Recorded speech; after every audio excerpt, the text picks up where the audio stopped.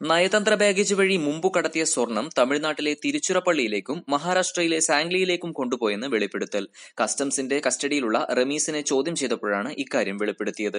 നയതന്ത്ര ബാഗേജിൽ അവസാനം വന്ന മുപ്പത് കിലോ സ്വർണം തടഞ്ഞുവെന്നറിഞ്ഞപ്പോൾ നേരത്തെ എത്തിച്ചിരുന്ന സ്വർണത്തിൽ നല്ലൊരു പങ്കും റോഡ് മാർഗം കടത്തി. ഇത് പരമ്പരാഗത സ്വർണ വ്യാപാരികൾക്ക് വിൽക്കുകയായിരുന്നുവെന്നാണ് മൊഴി. വെള്ളിയാഴ്ച എൻ ഐ എയുടെ കസ്റ്റഡി അവസാനിക്കുന്ന സ്വപ്നയെയും സന്ദീപിനെയും ചോദ്യം ചെയ്യാൻ കസ്റ്റംസ് തീരുമാനിച്ചു. കസ്റ്റംസിന്റെ കസ്റ്റഡിയിൽ കിട്ടിയ ശേഷം ഇവരെ ചോദ്യം ചെയ്യാനായിരുന്നു തീരുമാനം. എന്നാൽ എൻ ഐ എ കസ്റ്റഡിയിൽ ഇരിക്കെ തന്നെ ചോദ്യം ചെയ്യാമെന്നും അത് മൊഴിയായി കണക്കാക്കുമെന്നും നിയമോപദേശം കിട്ടിയതിന്റെ അടിസ്ഥാനത്തിലാണ് പുതിയ നീക്കം.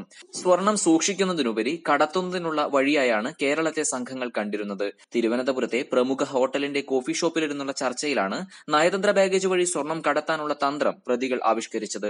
തുടർന്ന് ഡെമ്മി ബാഗിൽ പരീക്ഷണം നടത്തി. ഖത്തറിൽ താമസിക്കുന്നതിനിടയിൽ സ്വപ്ന മറ്റൊരു വിവാഹം കഴിച്ചതായി റമീസ് ചോദ്യം ചെയ്യലിൽ വെളിപ്പെടുത്തി. രണ്ടാം ഭർത്താവും കുട്ടികളും ഖത്തറിലുള്ളപ്പോഴാണ് അവിടെ തന്നെയുള്ള മറ്റൊരാളെ മുസ്ലിം മതാചാര പ്രകാരം വിവാഹം കഴിച്ചത്. അവിടെ ജയിലിലായിരുന്ന ഇയാളെ കാണാനും ചോദ്യം ചെയ്യാനുമുള്ള നീക്കം കസ്റ്റംസ് തുടങ്ങിയിട്ടുണ്ട്. News desk real news Kerala.